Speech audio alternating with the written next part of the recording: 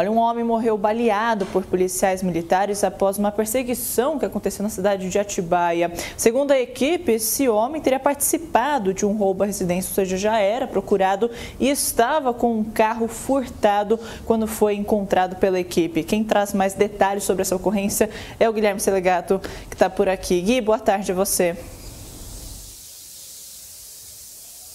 Oi, Júlia, uma excelente tarde a você e a todos que nos acompanham.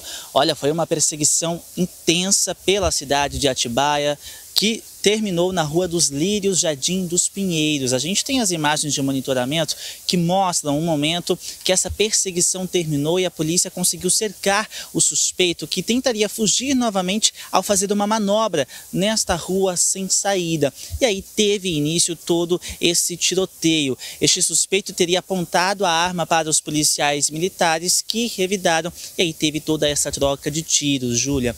Essa perseguição começou depois que a Guarda Municipal de de Atibaia informou à PM que este veículo prata, que teria sido utilizado em um roubo a uma residência na cidade de Araras, tinha dado entrada em Atibaia.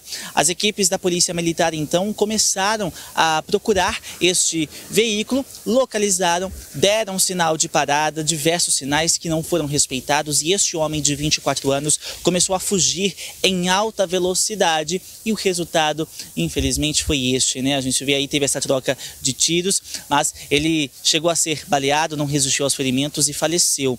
O Corpo de Bombeiros foi acionado, chegou a levar este homem para a Santa Casa de Atibaia, mas ele não resistiu. Júlia suspeita de que ele estaria envolvido então neste roubo à residência em Araras. A polícia também informa que ele teria, não teria retornado da última saidinha de junho e estava então é, envolvido em mais este roubo. A vítima, um homem de 59 anos, reconheceu os pertences, relógios, perfumes, bijuterias e todos esses itens já